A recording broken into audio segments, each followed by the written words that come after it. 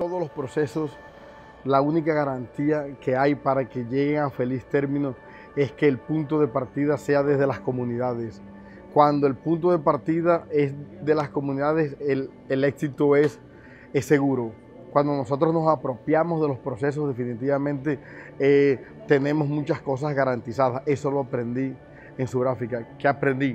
Hombre, a veces uno piensa que eh, tu país es el país eh, que más problemas tiene. No, estar allá y darte cuenta que hay unos países con problemas tan grandes o mayores que los tuyos te hace reflexionar. Me hizo reflexionar mucho eso.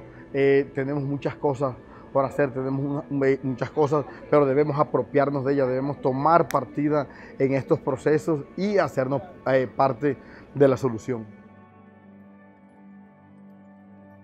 Comenzamos con nuestro plan de desarrollo. Nuestro plan de desarrollo lo comenzamos a, partir de 25 mesas sectoriales, mesas de concertación. Nunca antes en el municipio habíamos construido un plan de desarrollo tan participativo como el nuestro 2016-2019, construyamos cambio por la paz. Así es nuestro nuestro institucional, construyendo cambio para la paz.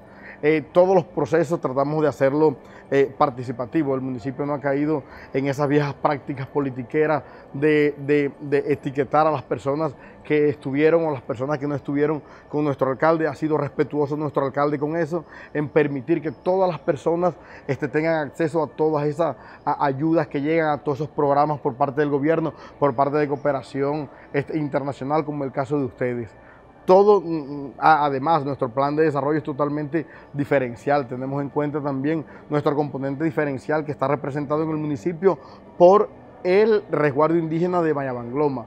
Ahí está en los, eh, en los capítulos de inclusión. Eh, está. Es también un, documento que está basado, basado en la paz, en la, en la consecución de esa paz verdadera que todos queremos. Y hoy Fonseca es protagonista y hoy Fonseca es eh, un actor importante en el proceso de paz.